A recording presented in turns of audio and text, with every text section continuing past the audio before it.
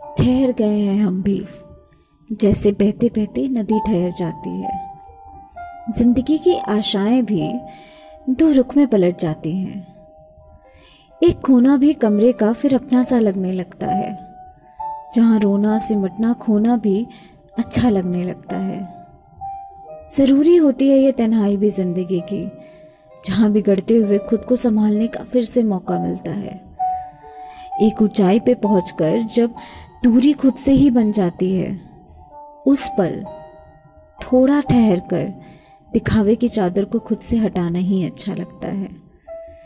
जहाँ मेरी गलतियाँ भी मुझे सुधरने का एक मौका दे जाती हैं, जहाँ गरजते हुए वो बादल भी मुझे फिर से उठने का हौसला दे जाते हैं, उस पल में मुझे खुद से वफादार होना ही अच्छा लगता है। सुकून मिलता है। सुकून मिलता है जब मेरे अश्क मुझसे मेरे बेचैनियों की गवाही अकेले में ही दे दिया करते हैं। वरना दूसरों के सामने तो अब कुछ बयां करना भी खुद को कमज़ोर करने जैसा लगता है।